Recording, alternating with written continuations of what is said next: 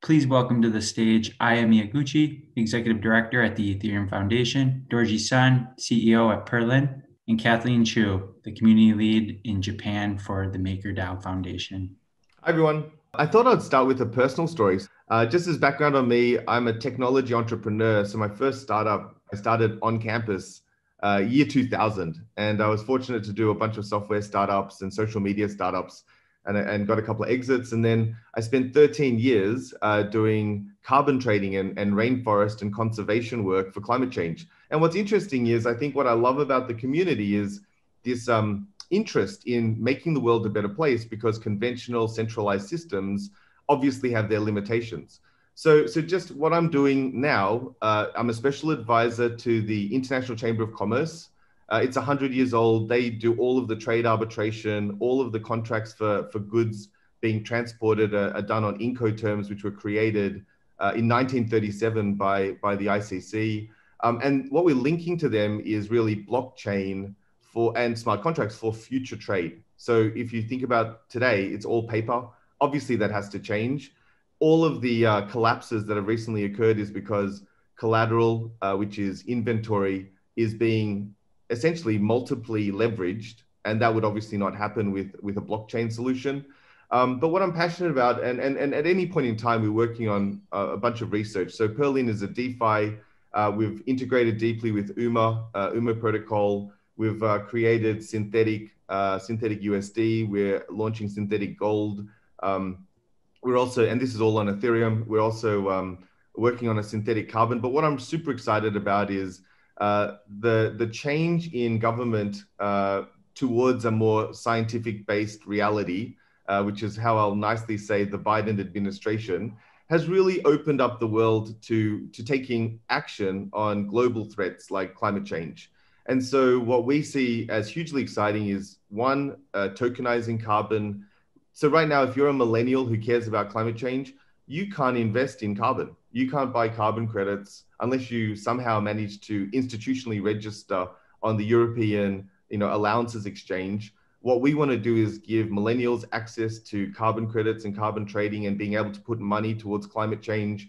Uh, and also, what we're talking to the World Bank and many of the large institutions about is right now the, the carbon accounting by countries is very broken.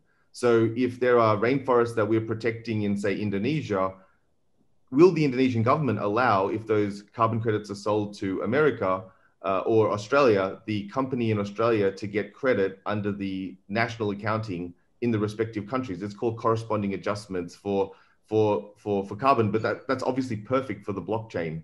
And so so there's so many new global problems which sovereign divides uh, create. Because obviously China has just suggested a COVID pass. Uh, obviously America will not accept a WeChat pass for, for COVID, but nor will China accept a Apple pass for COVID. So we've presented a, an Ethereum solution uh, in cooperation with the International Chamber of Commerce that's been accepted by 175 airports. So, so it's just how can our community, how can the Ethereum platform bridge the sovereign divide? And, and that's the huge opportunity in Asia. This is a shout out to all the developers because, you know, the thing that's amazing about the Ethereum community, especially Asia Pacific, is just the sheer number of um, engaged developers. So I'll tell you my dream. Um, you know, mankind invented the bomb, the gun, the chainsaw. So what are the things that we can invent to help rein in some of this aggressive power? Um, because essentially, if we're going to chop down a tree, we should be able to reforest or we should be able to replenish and, and protect in the same way. And so my dream really is, and it's happening because even though you know humanity may not be able to conserve a forest, but we actually can build the tools for for transparency.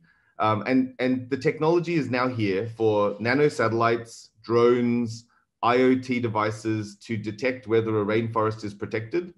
That can then transmit to a smart contract, which essentially, you know, using an Oracle, Chainlink, whatever on the Ethereum blockchain, can pay out digital currency because there's now central bank digital currencies. You might have seen USDC is now running on Ethereum, running on uh, Visa. So imagine that can now pay to smart smartphones, so digital identity, digital wallets for villagers who are shown to be actually doing the activity in the ground.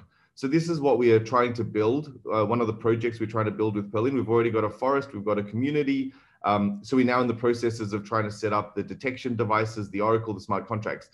Contact us if you want to join. Uh, we're looking for devs and we're looking for enthusiasm. Um, the second thing I was going to say was, at the very least, one of the things that we will absolutely be bringing to Perlin. So it's already a DeFi token. You get exposure to synthetics. You can do a bunch of cool stuff on on Balancer, on UMA. But the real thing we're doing is we're going to allow people to also have um, carbon exposure. So it will be an asset backed token, similar to what Kathleen was talking about. Um, and essentially, we just want anyone who holds a Binance account, a crypto account, to be able to say, hey, you know, I've done really well in, in Bitcoin. Why don't we put some money into um, conservation or into, into climate change activities? And then the backed token, the, the Pearl, um, will, will actually have carbon exposure.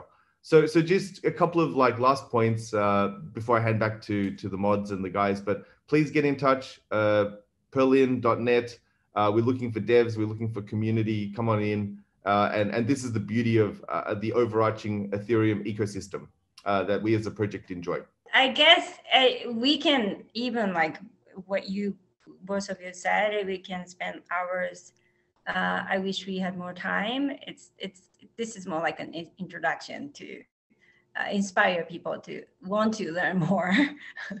We're all together creating a positive impact at the same time. It's you know it's creating business opportunities too. So hopefully we support the idea that will make the ecosystem sustainable, so that not everything is relying on charity. But hopefully we can talk more because it's just like I you know we were not able to talk enough. so but thank you, Catherine Dorjee. It was thank great you. to have you both. And and then back to you, Zach. Aya, thank you so much. And thank you very much for being here today and showing the support for the overall Ethereum ecosystem. Kathleen Dorjee, thank you so much. Really appreciate it.